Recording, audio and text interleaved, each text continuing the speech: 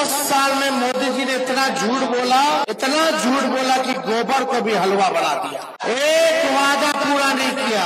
भाइयों बहनों, मैं दो करोड़ रोज़गार दूँगा साल में। पंद्रह लाख रुपया खाते में दूँगा। अब दस साल में प्रधानमंत्री जी के पास कुछ बचा नहीं बोलने को तो मंगलसूत्र की बात करते। अरे, प्रधानमंत्री जी, दस साल का हिसाब दीजिए। ना मोदी जी पढ़ाई की बात करते, ना कमाई की बात करते हैं ना सुनवाई की बात करते हैं। केवल केवल मंदिर, मस्जिद, हिंदू, मुस्लिम, इस्लाम, सनातनी, क्या मतलब है भाई? अरे, सब ठग लोग हैं। ज़्यादा समय नहीं है। सिमरी बख्तियारपुर की जनता जिंदाबाद। हमारे प्रत्याशी संजय जी हैं और अपील करने आए हैं कि एक एक वोट जो है, संजय जी को हसुआ हथौड़ा, सितारा छाप पर बटन दबा करके इनको पार्लियामेंट भेजने का काम कीजिए। ये चुनाव देश को बचाने का और बनाने का चुनाव है। देश के लोकतंत्र और संविधान को बचाना है। इसके लिए आज हम सब लोग एकजुट हो गए। देखो, कमाल की बात है कि आज हमारे साथ मुकेश सैनी जी भी हैं और हमारे साथ जो है अपने यहाँ के सांसद कैसर साहब भी हैं। तो आज सब लोग एकजुट हो गए। हम सब लोगों का एक ही मकसद है देश के संविधान, लोकतंत्र, भाईचारा को बचाना का। और 10 साल में मोदी जी ने इतना झूठ बोला, इतना झूठ बोला कि गोबर को भी हलवा बना दिया। एक वादा पूरा नहीं किया। भाइयों, बहनों, मैं दो करोड़ रोज़गार दूँगा साल में। पंद्रह लाख रुपया खाते में दूँगा। किसानों का आय दुगुना कर देंगे। सबके पक्का मकान बना देंगे। महँगाई को खत्म कर देंगे। गैस सिलेंडर जब 400 था तो रोते थे। महँगाई डाइन लगती थी। और चौदह, पंद्रह सौ हो गया तो इनको महँगाई भावजाई लग रही है। इन लोगों ने केवल ठगा है बिहार के लोगों को।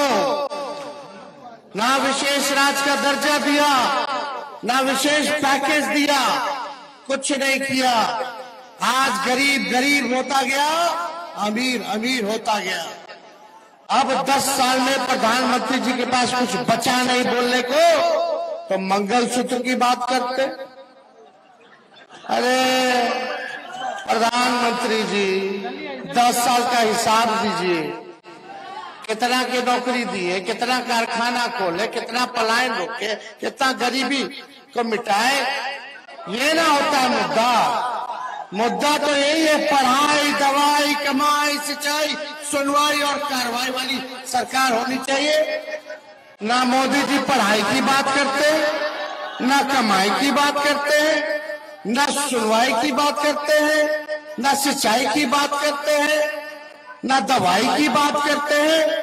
केवल केवल मंदिर मस्जिद, हिंदू, मुस्लिम, इस्लाम सनातनी। क्या मतलब है भाई? बोलो मतलब है, हम सत्रह महीने डिप्टी सीएम रहे तो पाँच लाख लोगों को सरकारी नौकरी। साढ़े चार लाख लोग नियोजित शिक्षकों को सरकारी कर्मी का दर्जा दिया स्वयं सहायक समूह का मानदेय दुगुना किए। IT policy, sports policy, tourism policy हमने बनाया पचास हज़ार करोड़ का निवेश का एग्रीमेंट निवेशकों से साइन करवाया। काम तो हम लोगों ने जातीय आधारित गणना करवाया। पचहत्तर परसेंट आरक्षण की सीमा को बढ़ाया। हम लोग काम किए सत्रह महीने में। हम लोग नए लोग हैं, नई सोच है, नया बिहार बनाना है। अब प्रधानमंत्री जी चौहत्तर साल के हो गए। पाँच साल और मांग रहे हैं। और दस साल में कुछ दिए नहीं तो अगला पाँच साल में और क्या दे देंगे कुछ नहीं देने वाले, केवल समाज को बांटने का काम करेंगे। आप इंडिया गठबंधन की सरकार बनाइए, एक करोड़ नौजवानों को पूरे देश में सरकारी नौकरी हम लोग दिलाने का काम करेंगे। सेना में पहले भर्ती होता था इन लोग अग्निवीर योजना ले आया। ठेका पे डाल दिया, चार साल के बाद बाहर। बाईस साल में रिटायर हो जाओगे, अठारह साल में जाओगे, आधा टाइम ट्रेनिंग में जाएगा। ना शहीद का दर्जा मिलेगा, ना पेंशन मिलेगा, ना कैंटीन की व्यवस्था मिलेगी। तो अग्निवीर योजना को हम लोग खत्म करेंगे। पहले जैसे बहाली होता था, वैसे ही बहाली होगा। ओल्ड पेंशन को हम लोग लागू करेंगे। और आने वाला रक्षाबंधन के दिन से सरकार बनती है। तो गरीब परिवार की बहनों को साल में एक बार एक लाख रुपया का सहयोग हम लोग करने का काम करेंगे। गैस सिलेंडर पाँच सौ रुपया कर देंगे और 200 यूनिट फ्री में बिजली हम लोग करने का काम करेंगे। हम लोग तो बता दिए कि हम लोग क्या कर रहे हैं। मोदी जी आठ दस बार आगे बिहार। सुन लो हो कि क्या कहले हो। क्या बोला, क्या देंगे? कुछ नहीं। हिंदू, मुस्लिम, खतरा हो है सनातनी के। प्रधानमंत्री हमारे सनातन धर्म के, राष्ट्रपति सनातन धर्म के, तीनों सेना के अध्यक्ष सनातन धर्म के, सब मुख्यमंत्री सनातन धर्म के हर प्रदेश के, हर गवर्नर सनातन धर्म के। फिर भी कह रहे सनातन खतरे में कैसे रे भाई? अरे ये सब ठग लोग है। ये लोग समाज को बांट करके राज करना चाहता है। इसलिए इनके झांसे में नहीं आना है। बीजेपी का मतलब है बड़का झूठा पार्टी। इनके चक्कर में मत रहिएगा।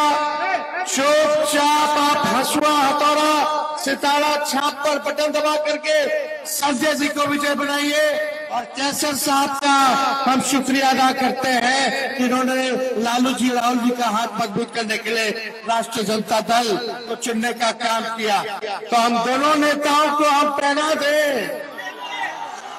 अरे, चलिए। नेशनल दस्तक की आपसे गुजारिश है कि अगर इसको बचाना चाहते हैं तो नेशनल दस्तक को सब्सक्राइब करने के लिए रेड कलर के सब्सक्राइब बटन को दबाएँ, फिर बेल आइकन की घंटी दबाएँ नेशनल दस्तक को बचाने के लिए बहुत ज़रूरी है कि हर खबर को शेयर करें लाइक करें कमेंट ज़रूर करें।